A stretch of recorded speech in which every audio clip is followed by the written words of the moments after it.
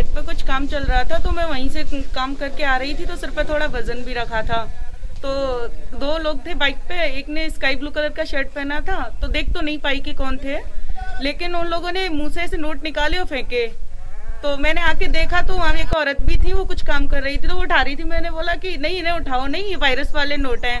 तो फिर मैंने उन पर मिट्टी डाल दी फिर मैं जल्दी से गई शोर मचाया फिर वो लोग इतने में निकल गए वो लोग वहाँ पे फिर नहीं पकड़े गए। तो सामने ही डाले थे ऐसा दिखा था कि कुछ फेंका है पास आके देखा था तो उधर सौ सौ की पाँच नोट पड़ी थी।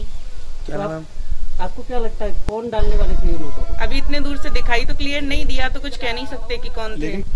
बाइक पे थे स्काई ब्लू कलर का शर्ट पहना था और दो लोग थे बस इतना ही पता है। क्या नाम है आपका? सोनल शर्मा।